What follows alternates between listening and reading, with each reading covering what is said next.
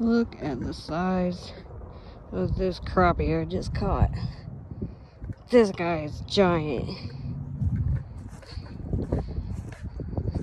These warehouse ponds, man. Get him in the water.